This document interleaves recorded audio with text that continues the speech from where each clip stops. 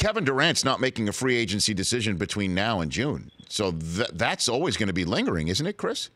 No, it is, and you know the, the the sad part about the situation, if you are a Golden State Warriors fan or if you're a member of this organization, is that if Kevin Durant does indeed leave, everybody's going to point to that incident. They're going to point to that. That that will be the narrative of uh, Draymond being the sole reason why Kevin Durant bolted. We're all going to point to that. We, we, we talk about the Bulls. Or, you know, we blame people for uh, for their role in not keeping that team together and talking about how many championships they could have had. It would be the same situation here in Golden State. If the, even if they do win three titles, they win three titles in a row. KD bolts. They're going to point to this situation and say, "Is this the cause uh, of why this team broke up? Is this the reason why KD left?" And so it, it's it's it's a crucial situation. Uh, you know, we we truly won't know the true reason or why KD left if he if that is the case.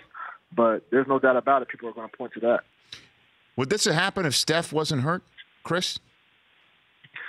Uh, if he wasn't hurt, I, I, I don't think the game would be that close for it to happen like that. And and obviously, if it was that close, Steph would be the one dribbling the ball up the court potentially, um, as opposed to Draymond. But I guess what I'm bringing up here is that um, it might not have happened on Monday night, but this is something lingering, isn't it? I mean, they, they, the everyone involved might say that the goal, the free agency is not an issue, but it, it sure appears to be. And the, the fact that Draymond's got only one year left as well, he might be wondering about his future there.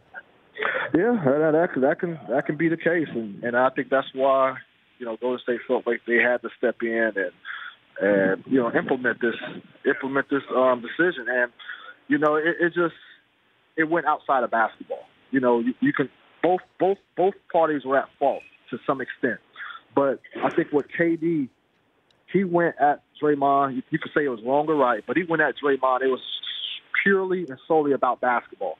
Why you didn't pass me the ball? Give me the ball. You know, he might, you know, cuss in there or whatever.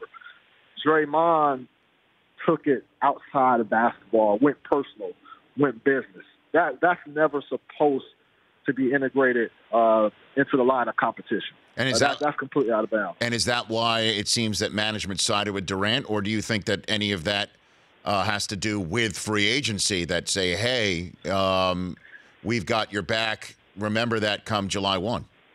No, look, Golden State, they're not going to come out and say this has anything to do with free agency. Uh, their point in, you know, they said that their point in that in implementing this was that he crossed the line, and they wouldn't get into specifics about what he, what he actually did to cross that line. But come on now, I mean, it's it's not easy to connect the dots. You know, K- KD is going to be a free agent over the summer. He declines that player option. They want to keep him.